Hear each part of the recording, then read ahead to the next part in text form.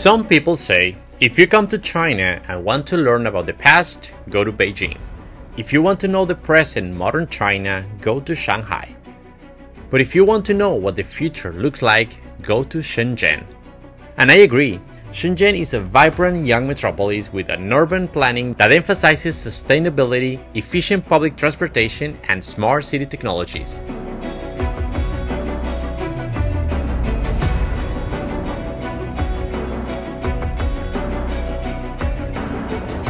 Shenzhen is also well known for having some of the best and most modern schools in the whole country.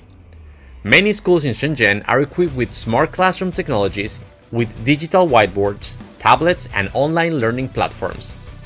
The integration of technology into the curriculum is common, with coding, robotics, and artificial intelligence being part of the learning experience in some schools.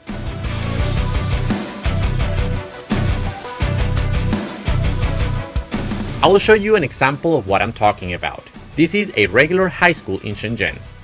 You will find a lot of open and green spaces. This is the science library.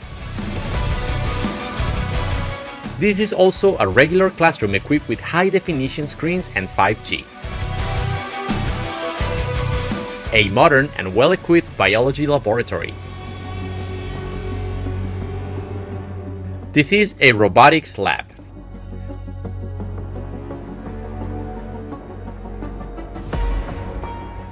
The school also has a flight simulator for the new C919, an airplane 100% developed and manufactured in China.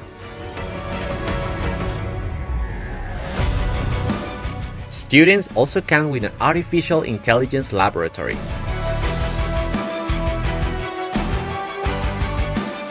Also spaces dedicated to art, like a dance practicing hall a music classroom, and a theater for performances and ceremonies. Physical activities is also a priority here, so spaces for sports and different disciplines can be found all around the school.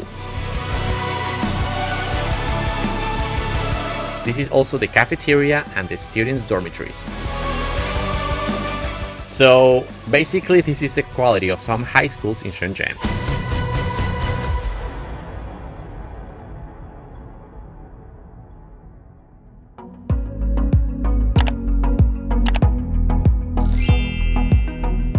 Today I am visiting Leedarson in Fujian province, a technology company that specializes in the manufacturing of Internet of Things products. They're also developing several technologies for what is the classroom of the future today. Now, one of the projects or the products that this brand Leedarson is working on is kind of like uh, the classroom of the future. I like to call it like that because we can see a lot of technology embedded in these kind of spaces to ensure a better learning process for kids. Here in China, the efforts that the authorities are putting on education are huge. And that's why these kind of companies are also developing these kind of technologies. Well, to have a better understanding of Chinese education, the country implemented 9 years of compulsory education in the 1980s. It covered 6 years of primary education and 3 years of junior secondary education.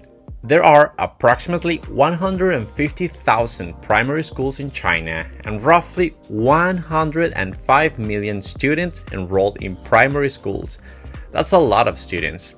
But what is really impressive is that the net enrollment rate for primary education has consistently been above 99%, indicating almost universal access. Example, we are checking some of the lamps that they're using in the classrooms nowadays, so they're trying to implement more and more, is this kind of lamps that we have on top of me. They're kind of directing the light to the students down there. So the light is not spread all around the room. That will ensure a better focus on each student rather than a more irregular lining all around the classroom. They also have some sensors that can detect the natural lining in the classroom so they can identify which spots in the classroom needs more light. Well, China has around 80,000 junior secondary schools and about 14,000 senior secondary schools.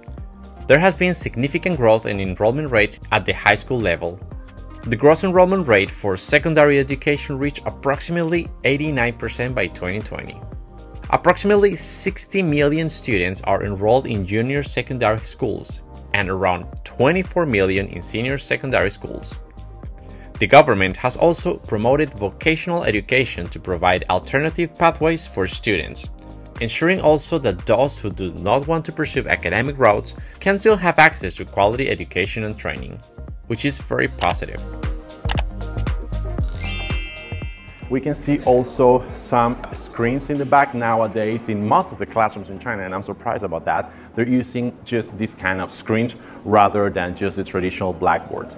These kind of uh, screens also have anti-reflective technologies to make it better for the students to understand and see the content that the teacher is sharing with the students. Now, let's talk a little bit about the Gaokao, which is the most important exam for Chinese high school students, determining the eligibility for higher education institutions. This exam is actually highly competitive and is very stressful for students.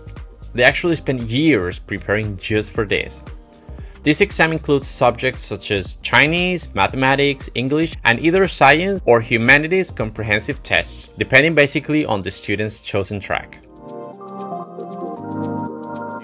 We can see also there are several cameras all around and it's because during the pandemic the learning process didn't stop. Instead of that it moved to distant learning, which means kids can connect to the class and they can still kind of assist to the lesson that day. Actually, if some kids for some reason cannot go to class that day, the class might be recorded and they can also have access later on to the information that they learned in the space. It is also quite interesting to learn how committed the government is with the education. The Chinese government has committed to spending at least 4% of its GDP on education.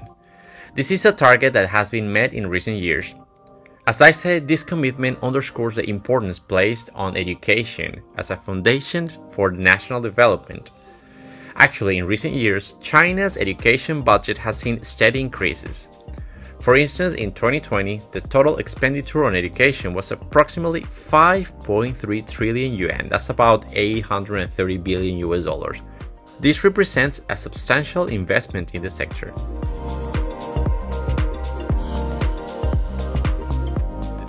We also see different kind of features and devices that are designed for classrooms like air purifiers. If a kid might be sick and might not have the symptoms yet, but probably they can spread still the virus to the classroom. These kind of devices can actually purify the air in the classroom, which is very clever.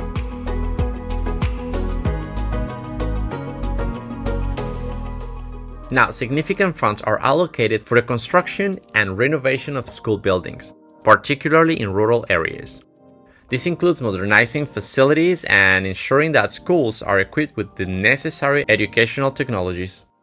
Investments are also made in improving teacher salaries and providing ongoing professional development and training to enhance the quality of teaching.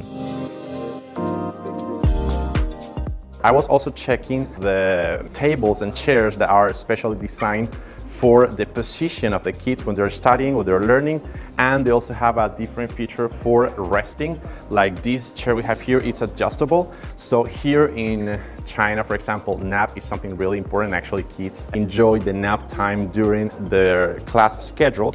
This can be adapted. So this is like a more comfortable position for kids to have a nap. And actually I'm pretty sure you have seen some videos that went viral that kids are using these kind of tables to adjust them and take a nap. I'll show you these kind of videos.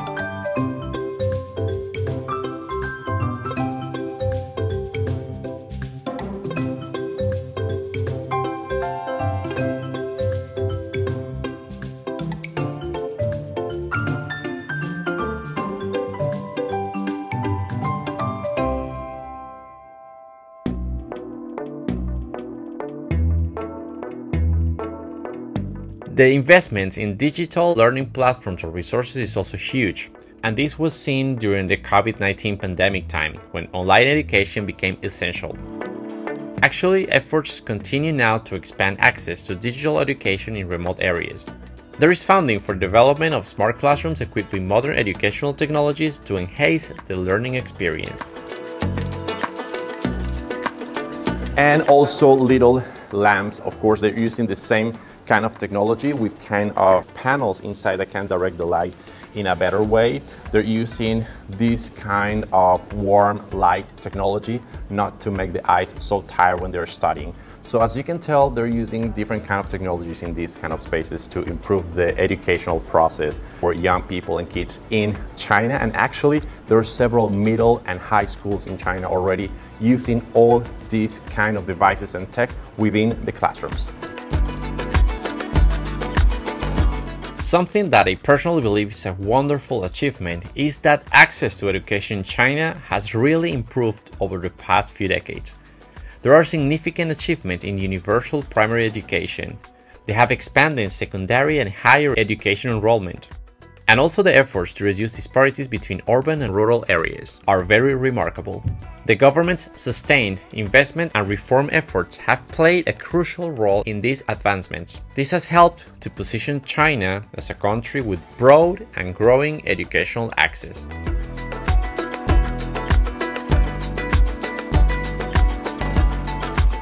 In China, higher education has expanded rapidly.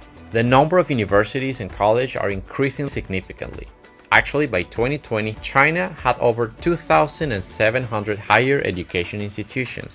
Now, this number is really impressive because the gross enrollment rate in higher education increased from about 3.4% in 1990 to over 54% in 2020. This reflects a broader access to university education.